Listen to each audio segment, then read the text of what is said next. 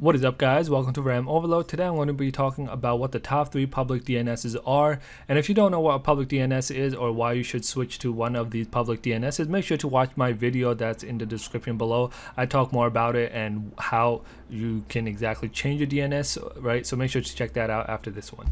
Alright, so a public DNS, the first one I was uh, really suggest is Google's public DNS. Uh, it's probably one of the fastest DNSs and probably one of the most well-known DNSs. All right, uh, the only problem I would say with Google's DNS is that their privacy isn't that great. It's not really that bad, but a lot of people don't, or a lot of people that are uh, conscious of their privacy, especially online, don't really use Google's public DNS.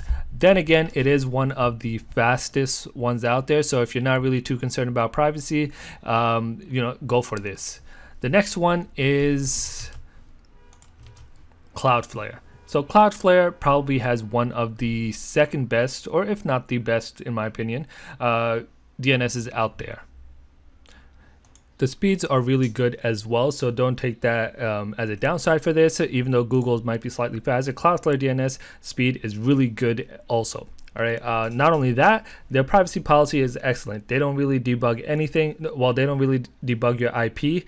They don't um, store any logs for more than 24 hours. So after 24 hours, your logs are deleted, and they don't sell your data which is a really another important thing to take into consideration. Okay, so you can just go to their websites, read up more about it and what exactly it is. So they do have a free plan as well as a paid plan.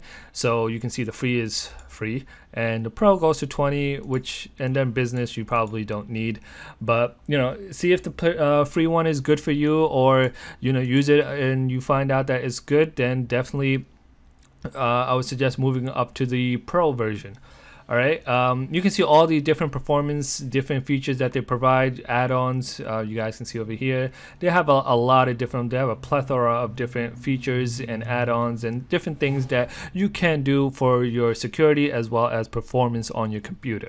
All right moving on the third one is OpenDNS so this was recently bought by Cisco and is another popular DNS uh, that most people know about. Right, the first one, you know, they do they are really fast as well, right? Um, they uh, by default prevent phishing websites and it's really easy to set up and they do say that it is up 100% of the time so you guys can see over here since 2006 so look at just all this data over here and uh, what they do and what they provide uh, their privacy privacy policy is pretty good also you know, I would say Cloudflare's is better, but theirs is not bad uh, at all as well. All right, uh, so definitely look into OpenDNS as well. All right, so these are the top three DNSs in my opinion. Definitely check them out, read up more about it. You know, um, if you want to learn how to actually change your DNS on your computer, make sure to click the video in the description below.